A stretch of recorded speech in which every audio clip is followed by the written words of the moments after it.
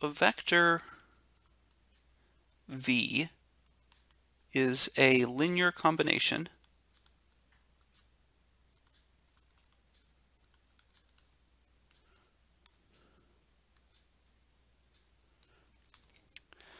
of the vectors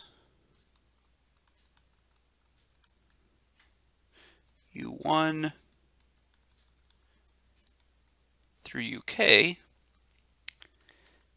if it can be written as v equals c1 u1 plus dot dot dot plus ck uk for some scalars C1 through CK. So in other words, a linear combination of U1 through UK is anything you can get from them by using only the operations of vector addition and scalar multiplication.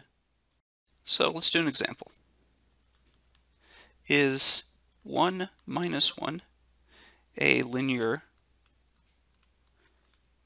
combination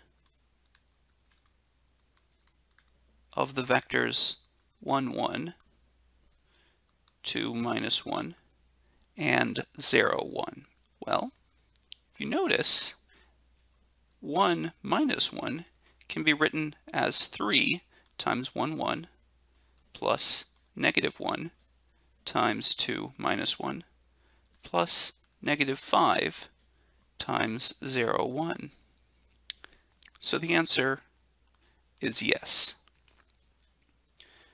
we can ask, is that the only way to do this?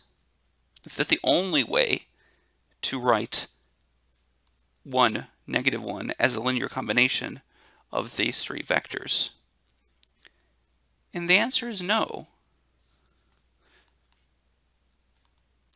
So that's not the only way to do it.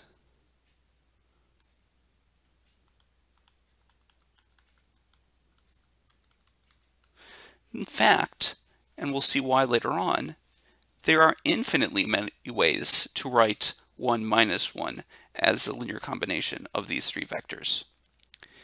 In fact, we will see later exactly how we'll go about figuring out whether a given vector is a linear combination of some others and finding all the ways in which it is.